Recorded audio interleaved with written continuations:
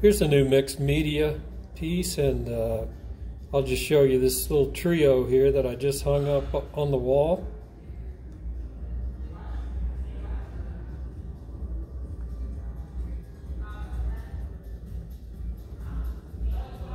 It's acrylic on board, on paper, and on cedar wood. This one's acrylic on board.